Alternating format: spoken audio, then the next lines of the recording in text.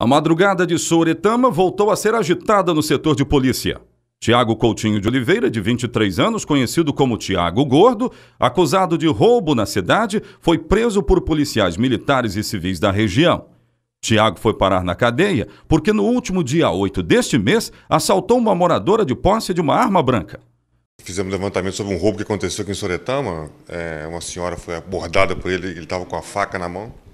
Fizemos um levantamento, descobrimos onde ele morava, pedindo, pedimos um mandado de busca, a prisão dele, e conseguimos prendê-lo é, ontem pela manhã, bem cedo, bem de madrugada. Não ofereceu resistência porque a casa foi cercada. É, ele tem histórico de outros crimes além desse, delegado?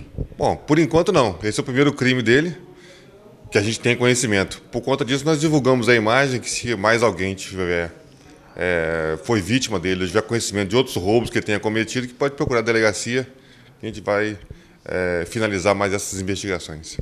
Ele levou um celular e objetos pessoais para comprar drogas e bebidas alcoólicas.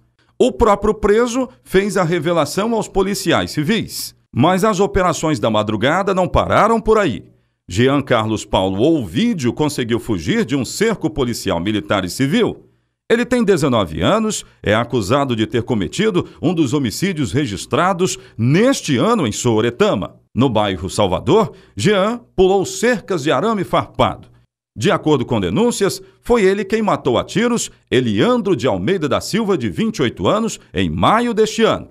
Tentamos cercá-lo e prendê-lo, mas infelizmente ele saiu desesperado da, do, do, do, esconderijo que ele estava, é, pulando cerca de arame farpado, inclusive deve estar machucado, mas deixou para trás drogas material entorpecente, que é maconha e outros materiais, uma espingarda de calibre 28 e munições.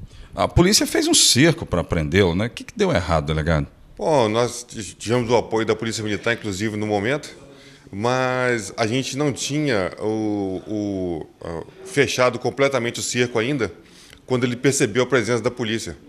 Então, no único local que ele tinha para fugir ainda, que a gente não tinha fechado completamente o cerco, ele se aproveitou e saiu desembestadamente da, da, da, da residência, pulando a cerca de arame farpado e ganhando a, a, o campo e a mata. Para a polícia, Jean é dono de uma das bocas de fumo existentes no bairro Salvador.